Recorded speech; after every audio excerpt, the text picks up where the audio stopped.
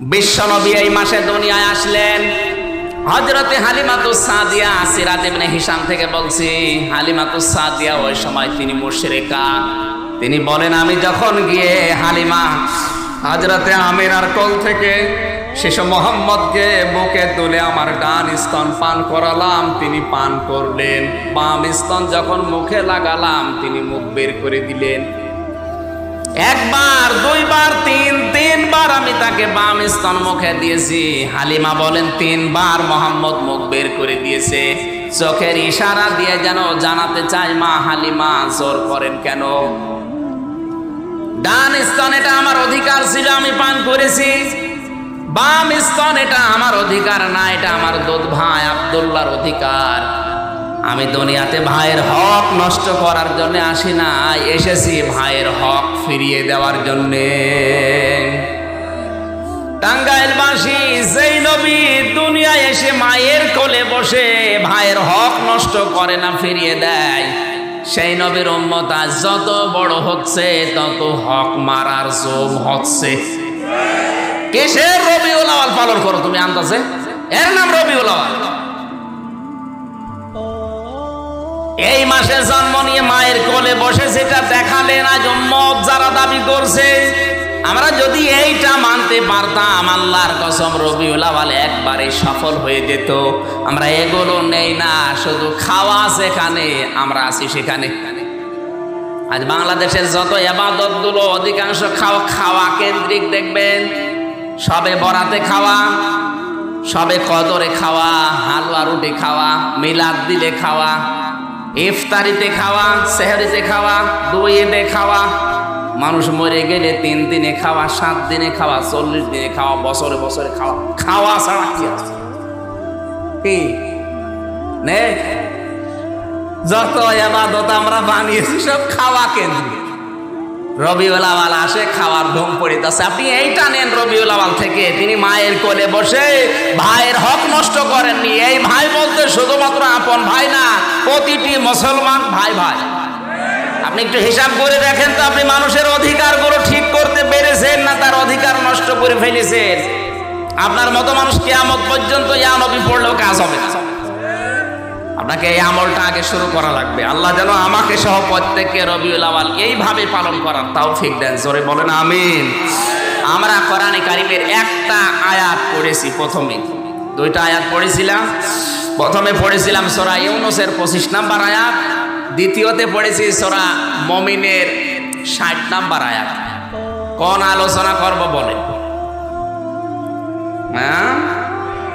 ইউনুস মমিন? দুইটা। প্রথমটা শুরু করছে নাকি? জবান খুলে আগে কোরআনের সোনালী আয়াত পড়ে নেন। প্রতিটি অক্ষরে যেন দশটা নাকি আমাদের আমল নামায় অলরেডি হয়ে যায়।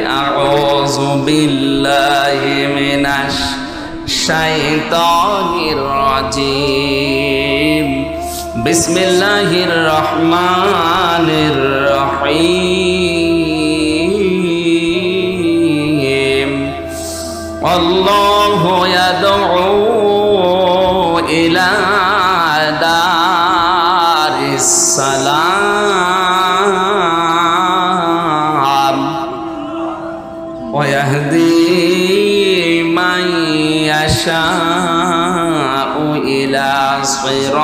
صراط مستقيم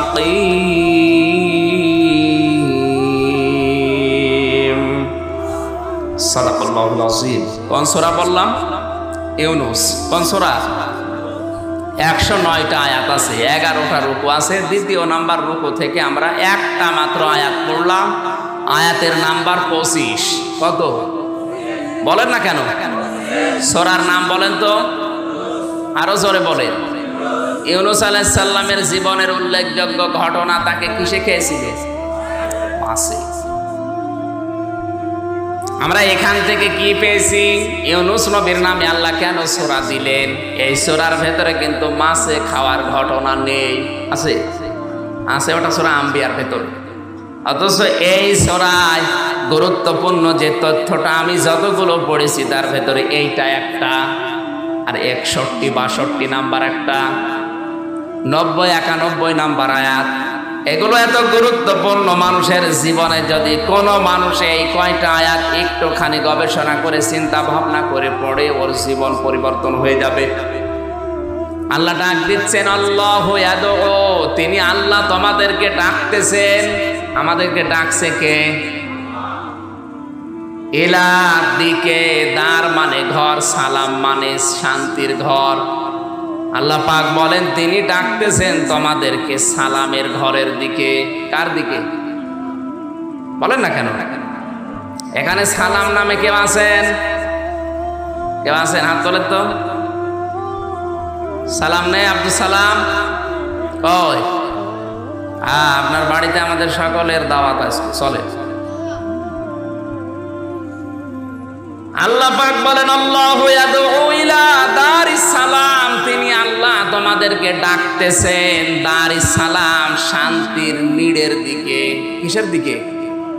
শান্তির ঘর, শান্তির নিড়ের দিকে। অয়াহাদি, তিনি পথ দেখাতে চান, মাইয়াশা, যাকে ইচ্ছা, ইলা সিরাতিম মুস্তাকিম, সঠিক এবং সরল স্থায়ী পথ। সিরাতিম মোস্তাকিম মানে সঠিক সরল পথ না। সঠিক সরল স্থায়ী পথ। এহদিনা সেরাতল মোস্তাকিম নেই। ইহদিনা সিরাতল মোস্তাকিম মানে হে আল্লাহ, তুমি আমাদেরকে সহজ সরল পথ দেখাও না। স্থায়ীভাবে সহজ এবং সরল পথ দেখাও।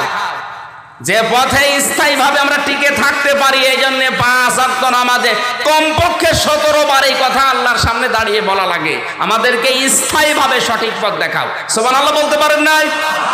যে লোকটা চব্বিশ ঘন্টায় অন্তত পাঁচবার শুধু ফরজ নামাজ পড়লেও সতেরো বার আল্লাহর কাছে বলছে, স্থায়ীভাবে পথ দেখান। ও পথ ভুলে যায় কোন কায়দা